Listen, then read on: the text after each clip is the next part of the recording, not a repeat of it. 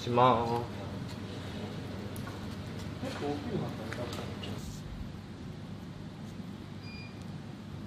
やばいずっとついてる。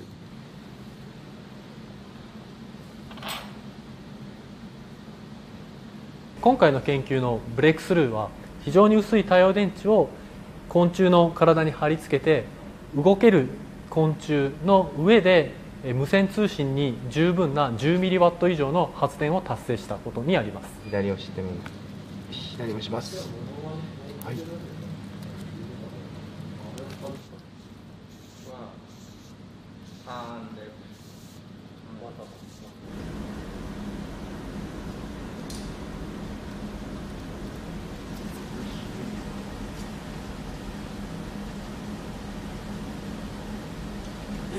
そのフィルムを腹部に貼り付けてもそのような腹部の節の動きを阻害せずに充電することができましたので自由な動きを確保しながら十分な充電量を確保することができるようになりました。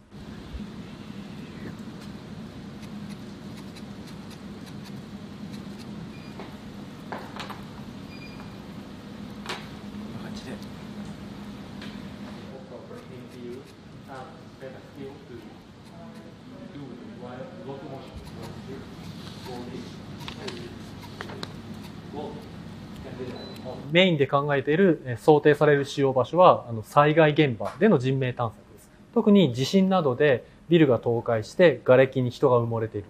そのような環境の時に狭い隙間の中に入り込めるような、えー、ものを実現する。こういったものがあの有望なアプリケーションであると考えて我々は研究を進めております。なんでこんな元気だおすごい。おすごいね。ああ多分美容より触覚の方が取得してる情報量多いんです。カブトムシとビートイコールじゃない。甲虫の総称甲虫小型のロボットに積めるバッテリーでとだとすぐにあのバッテリーが空になってしまって、まあ、探索時間が極端に短くなってしまう。ちなみにあのアライメントは昆虫の動き自体は昆虫自身が動かしておりますので、そこに対する消費電力はあの全くかからないという、えー、特徴を持っております。